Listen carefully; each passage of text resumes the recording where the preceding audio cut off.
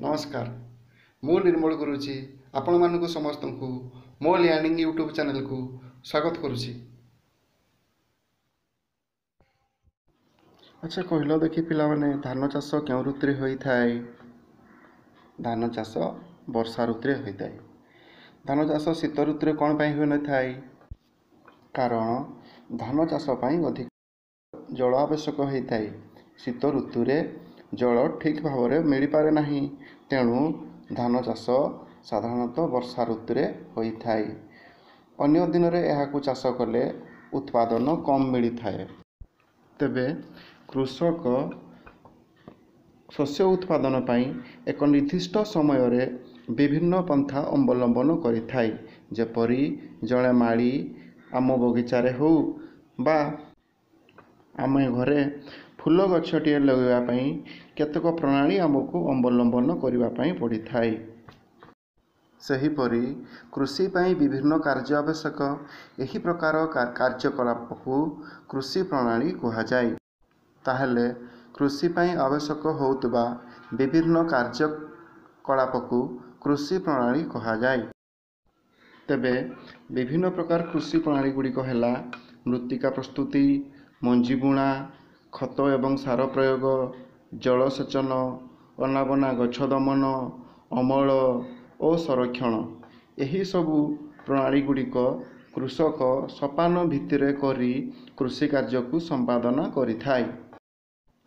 ଆମେ ବର୍ତ୍ତମାନ ବିଭିନ୍ନ କୃଷି ପ୍ରଣାଳୀ ଗୁଡ଼ିକ ଗୋଟିଏ ପରେ ଗୋଟିଏ ଆଲୋଚନା କରିବା। ତାହେଲେ ଆମେ ଦେଖିବା ମୃତ୍ତିକା ପ୍ରସ୍ତୁତି କ'ଣ ପାଇଁ କରାଯାଏ? ମୃତ୍ତିକା ପ୍ରସ୍ତୁତି କରିବା ଦ୍ୱାରା କୃଷକର କ'ଣ ଲାଭ ହୋଇଥାଏ? ଏହାକୁ ଆମେ ଗୋଟିଏ ପରେ ଗୋଟିଏ ବିନ୍ଦୁ ଦେଇ ଆଲୋଚନା କରିବା। ତାହେଲେ ଏକ ନମ୍ବର ବିନ୍ଦୁ କ'ଣ ହେବ? କୃଷିର ମୁଖ୍ୟ ଉଦ୍ଦେଶ୍ୟ ହେଉଛି ମାଟିକୁ ତଳ ଉପର କରି ଏହାକୁ ନରମ ଓ ଫସଫସିଆ କରିବା। ନରମ ଓ ଫସଫସିଆ ମାଟିରେ ଚେର ମୃତ୍ତିକା ଭିତରେ ଗଭୀରକୁ ପ୍ରବେଶ କରି ସହଜରେ ଶ୍ୱାସକ୍ରିୟା କରିପାରେ। କ'ଣ ପାଇଁ ନା ମୃତ୍ତିକା ହାଲୁକା ଥିଲେ ମୃତ୍ତିକା ଭିତରକୁ ବାୟୁ ଚଳପ୍ରଚଳ କରିବା ସହଜ ହୋଇଥାଏ। ଫଳରେ ଉଦ୍ଭିଦ ମୃତ୍ତିକାରୁ ସହଜରେ ବାୟୁ ଗ୍ରହଣ କରିଥାଏ। ନରମ ଓ ଫସଫସିଆ ମୃତ୍ତିକା ଜିଆ ଓ ଅଣୁଜୀବ ବୃଦ୍ଧିରେ ସହାୟକ ହୁଏ। ଏହା କିପରି ହୋଇଥାଏ? ନା ଯଦି ମୃତ୍ତିକା ନରମ ଓ ଫୁସଫୁସିଆ ଥିବ ତାହେଲେ ଅଣୁଜୀବମାନେ ସେହି ମୃତ୍ତିକାରେ ଚଳପ୍ରଚାର କରିବା ସହାୟକ ହୋଇଥାଏ ସେମାନଙ୍କୁ ସେଠାରେ ବାସ କରିବା ସହାୟକ ହୋଇଥାଏ। ସେହିପରି ଅଣୁଜୀବମାନେ ମଧ୍ୟ ନରମ ଓ ଫସଫସିଆ ମାଟି ଥିଲେ ସେଥିରେ ବାସ କରିବା ସହଜ ହୋଇଥାଏ। ତେଣୁ ଏମାନେ ସାଧାରଣତଃ ନରମ ଓ ଫସଫସିଆରେ ମାଟିରେ ବସବାସ କରିଥାନ୍ତି। ତେଣୁ ଜିଆ ଓ ଅଣୁଜୀବ ବୃଦ୍ଧି ସହାୟକ ହୁଏ। ଅଣୁଜୀବ ଗୁଡ଼ିକ ମାଟିକୁ ଉପର ତଳ କରି ମାଟିରେ ହ୍ୟୁମସ୍ ବୃଦ୍ଧି କରିଥାନ୍ତି। ମୃତ ଉଦ୍ଭିଦ ଓ ପ୍ରାଣୀ ମୃତ୍ତିକାସ୍ଥ ଅଣୁଜୀବମାନଙ୍କ ଦ୍ୱାରା ବିଘଟିତ ହୋଇ ହ୍ୟୁମସ୍ ଗଠିତ ହୋଇଥାଏ। ମୃତ ଜୀବଙ୍କ ଶରୀରରେ ଥିବା ପୋଷକ ପଦାର୍ଥ ମୃତ୍ତିକାକୁ ଫେରିଯାଏ ଏବଂ ଏହାକୁ ଉଦ୍ଭିଦମାନେ ପୁନଃ ବ୍ୟବହାର କରିଥାନ୍ତି। ତେଣୁ ମୃତ୍ତିକାରେ ଯେଉଁ ଅଣୁଜୀବ ଥାଆନ୍ତି ସେମାନେ କୃଷକ ପାଇଁ ବହୁତ ସହାୟକ ହୋଇଥାନ୍ତି। ତେଣୁ ଜିଆ ଓ ଅଣୁଜୀବମାନଙ୍କୁ କୃଷକର ବନ୍ଧୁ ବୋଲି ମଧ୍ୟ କୁହାଯାଏ। ମୃତ୍ତିକା ତଳ ଉପର ଏବଂ ହାଲୁକା ହେବା ଦ୍ୱାରା ପୋଷକ ପରିପୂର୍ଣ୍ଣ ମୃତ୍ତିକା ଉପରକୁ ଆସେ। ଉଦ୍ଭିଦ ଏହାକୁ ସହଜରେ ଗ୍ରହଣ କରେ। ତେଣୁ ମୃତ୍ତିକା ତଳ ଉପର କରିବା ଏକାନ୍ତ ଆବଶ୍ୟକ। ଗୋଟିଏ ସ୍ଥାନରେ ବାରମ୍ବାର ଚାଷ କରିବା ଦ୍ୱାରା ଉଦ୍ଭିଦ ମାଟି ଉପରେ ଥିବା ପୋଷକ ପଦାର୍ଥକୁ ଶୋଷଣ କରି ନେଇଯାଏ। ଫଳରେ ଉପର ଅଂଶର ମାଟି ଉର୍ବରହୀନ ହୋଇଥାଏ। ତଳ ଉପର କରିବା ଦ୍ୱାରା ତଳେ ଥିବା ମାଟି ଉପରକୁ ଆସିଥାଏ ଫଳରେ ତଳେ ଯେଉଁ ପୋଷକ ପଦାର୍ଥ ରହିଥାଏ ତାହା ଉପରକୁ ଆସିଥାଏ। ତେଣୁ ମାଟିକୁ ତଳ ଉପର କରିବା ଏକାନ୍ତ ଆବଶ୍ୟକ ଅଟେ। ମୃତ୍ତିକାକୁ ତଳ ଉପର କରିବା ଓ ହାଲୁକା କରିବା ପଦ୍ଧତିକୁ ଚାଷ କରିବା ବା ହଳ କରିବା କହନ୍ତି। ଆମେ ସମସ୍ତେ ଜାଣିଥିବା ହଳ କିପରି କରାଯାଏ? ସାଧାରଣତଃ ହଳ କାଠ ଲଙ୍ଗଳ ଲୁହା ଲଙ୍ଗଳ ଟ୍ରାକ୍ଟର କଲ୍ଟିଭେଟର ଇତ୍ୟାଦି ଦ୍ୱାରା କରାଯାଇଥାଏ।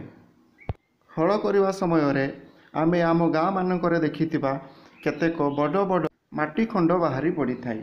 ଏହି ବଡ଼ ବଡ଼ ମାଟି ଖଣ୍ଡକୁ ଟେଳା କହନ୍ତି। ଟେଳା ଗୁଡ଼ିକ ମଇ ଦ୍ୱାରା ଗୁଣ୍ଡ କରାଯାଇଥାଏ ବା ବେଳେବେଳେ ଆମେ କୋଦାଳି ଦ୍ୱାରା ମଧ୍ୟ ଟେଳାକୁ ଗୁଣ୍ଡ କରିଥାଉ। ମଇ ଦ୍ୱାରା ଟେଳାକୁ ଗୁଣ୍ଡ କରିବା ଦ୍ୱାରା ମୃତ୍ତିକା ସମତଳ ହେଇଥାଏ ଜମି ସମତଳ ହେଇଥାଏ। ଜମି ସମତଳ ହେଲେ ଜଳସେଚନ ଓ ମଞ୍ଜି ବୁଣା କାର୍ଯ୍ୟ ସହଜ ହୁଏ। ଆମେ ଗାଁମାନଙ୍କରେ ଦେଖିଥିବା ବେଳେବେଳେ ହଳ କରିବା ପୂର୍ବରୁ ମୃତ୍ତିକାରେ ସାର ମଧ୍ୟ ପ୍ରୟୋଗ କରାଯାଇଥାଏ। ଏହାଦ୍ୱାରା କ'ଣ ହୁଏ? ସାର ମୃତ୍ତିକାରେ ଠିକ୍ ଭାବରେ ମିଶିଥାଏ। ହଳ କରିବା ପରେ ସାର ପ୍ରୟୋଗ କରିବା ଦ୍ୱାରା ସାର ମାଟିର ଉପର ଅଂଶରେ ରହିଯାଇଥାଏ। ଫଳରେ ଉଦ୍ଭିଦ ତାକୁ ଠିକ୍ ଭାବରେ ଗ୍ରହଣ କରିପାରିନଥାଏ ବର୍ଷା ହେବା ଦ୍ୱାରା ଉପର ଅଂଶରେ ଥିବା ସାର ପାଣି ଦ୍ୱାରା ଭାସି ଯାଇଥାଏ। ତେଣୁ ବେଳେବେଳେ ହଳ କରିବା ସମୟରେ ସାର ମଧ୍ୟ ପ୍ରୟୋଗ କରାଯାଇଥାଏ। ତେବେ କହିଲ ଦେଖି ପିଲେ ହଳ କରିବା ବା ମୃତ୍ତିକାକୁ ଉପର ତଳ କରିବା ପାଇଁ କେଉଁ କେଉଁ ଯନ୍ତ୍ର ସବୁ ବ୍ୟବହାର କରାଯାଏ? ଲଙ୍ଗଳ କୋଦାଳ କଲ୍ଟିଭେଟର ବା ପାୱାର ଟିଲର ମଧ୍ୟ ବ୍ୟବହାର କରାଯାଉଛି। ଆମେ ସମସ୍ତେ ଗାଁମାନଙ୍କରେ ଲଙ୍ଗଳ ଦେଖିଥିବା। ଲଙ୍ଗଳଟି କାଠ ଓ ଲୁହାରେ ତିଆରି ହୋଇଥାଏ। ଲଙ୍ଗଳରେ ଥିବା ତ୍ରିଭୁଜାକୃତି ଲୁହା ପ୍ଲେଟକୁ ଲଙ୍ଗଳ ମୁଣ୍ଡା କହନ୍ତି। ଲଙ୍ଗଳରେ ଲମ୍ବା ଅଂଶକୁ ଇସ କୁହାଯାଏ। ଲଙ୍ଗଳର ହାତରେ ଧରୁଥିବା ଅଂଶକୁ କଣ୍ଟି କୁହାଯାଏ। ଇସର ଅନ୍ୟ ପ୍ରାନ୍ତଟି ଜୁଆଳି ସହ ଦଉଡ଼ି ଦ୍ୱାରା ସଂଯୁକ୍ତ ହୋଇଥାଏ। ଲଙ୍ଗଳକୁ ଜଣେ ଲୋକ ହଳେ ବଳଦ ଦ୍ୱାରା ଚାଷ ଚଳାଇଥାଏ। ଏବେ କାଠ ଲଙ୍ଗଳ ପରିବର୍ତ୍ତେ ଲୁହା ଲଙ୍ଗଳର ବହୁଳ ବ୍ୟବହାର ହେଉଛି। କ'ଣ ପାଇଁ ନା ଆଜିକାଲି କାଠ ଲଙ୍ଗଳ ମିଳିବା କଷ୍ଟସାଧ୍ୟ ହେଉଛି। ସାଧାରଣତଃ ଜଙ୍ଗଲରୁ କାଠ ଆଣିବା ଆଜିକାଲି ବିପଦ ଅଟେ। ଜଙ୍ଗଲରୁ କାଠ ଆଣି ଲଙ୍ଗଳ ତିଆରି କରିବା ଦ୍ୱାରା ଜଙ୍ଗଲ ନଷ୍ଟ ହେଉଛି। ଏହାଦ୍ୱାରା ବାୟୁମଣ୍ଡଳରେ ଅମ୍ଳଜାନର ପରିମାଣ କମିଯାଉଛି। ତେଣୁ ସାଧାରଣତଃ ଆଜିକାଲି କାଠ ଲଙ୍ଗଳ ବଦଳରେ ଲୁହା ଲଙ୍ଗଳ ବ୍ୟବହାର କରାଯାଉଛି।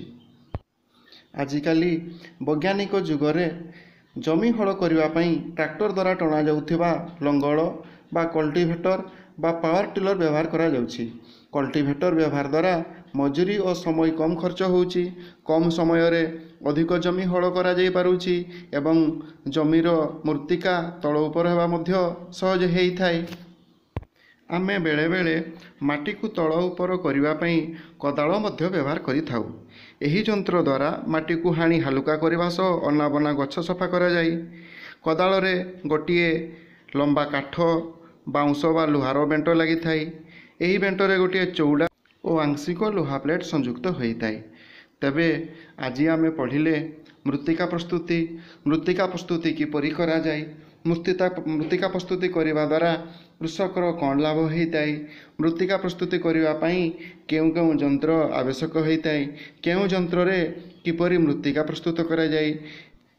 ଏହା ସହିତ ଲଙ୍ଗଳ କିପରି ବ୍ୟବହାର କରାଯାଏ? ଲଙ୍ଗଳର ବିଭିନ୍ନ ଅଂଶ ଗୁଡ଼ିକୁ କ'ଣ କ'ଣ କୁହାଯାଏ? କଲ୍ଟିଭେଟର କ'ଣ? କଲ୍ଟିଭେଟର ଦ୍ୱାରା ହଳ କରିବା ଦ୍ୱାରା ଆମର ଲାଭ କ'ଣ ମିଳିଥାଏ? ଏବଂ ଆମେ ଆଉ ମଧ୍ୟ ଜାଣିଲେ କୋଦାଳ। କୋଦାଳର କିପରି ବ୍ୟବହାର କରାଯାଇଥାଏ? ଠିକ୍ ଅଛି ତାହେଲେ। ଆଜି ଆମେ ଯେଉଁ ପାଠ ପଢ଼ିଲେ ସେହି ପାଠରୁ ମୁଁ ତୁମ ପାଇଁ କିଛି ପ୍ରଶ୍ନ ରଖୁଛି। ସେହି ପ୍ରଶ୍ନ ଗୁଡ଼ିକର ଉତ୍ତର ତୁମେ ନିଜେ କରିବ ଏବଂ ପରବର୍ତ୍ତୀ ସମୟରେ ତାକୁ ମନେ ରଖିବ। ପ୍ରଶ୍ନ ଫସଲ ଉତ୍ପାଦନର ମୌଳିକ ପ୍ରଣାଳୀ ଗୁଡ଼ିକ କ'ଣ କ'ଣ? ଦ୍ୱିତୀୟ ପ୍ରଶ୍ନ ମୃତ୍ତିକା ପ୍ରସ୍ତୁତ ଦ୍ୱାରା କୃଷକର କ'ଣ ଲାଭ ହୋଇଥାଏ? ତୃତୀୟ ପ୍ରଶ୍ନ କଲ୍ଟିଭେଟର ବ୍ୟବହାର ଦ୍ୱାରା କୃଷକର କ'ଣ ଲାଭ ହୋଇଥାଏ? ଠିକ୍ ଅଛି ତାହେଲେ।